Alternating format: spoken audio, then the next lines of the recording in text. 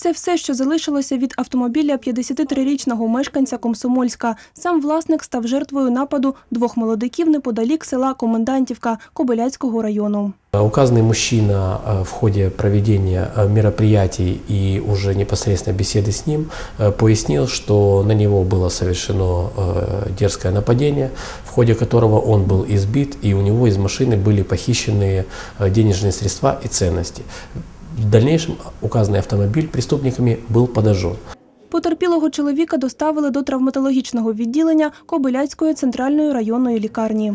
Він доставлений був з обширними підшкірними гематомами обличчя, зрубленою раною м'яких тканин голови зліва. І після рентгенологічного, рентгенологічного обстеження у хворого виявився, виявилися переломи ребер 7-8 ребра справа з підшкірною емфіземою і перелом 8 ребра зліва.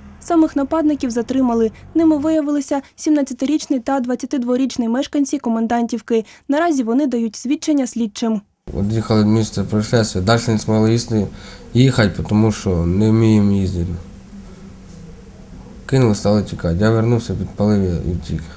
По данному факту были возбуждены три уголовных производства. Это по статье 121 э, нанесение тяжких телесных повреждений, по статье 194 умышленное повреждение имущества, по статье 187 разбойное нападение.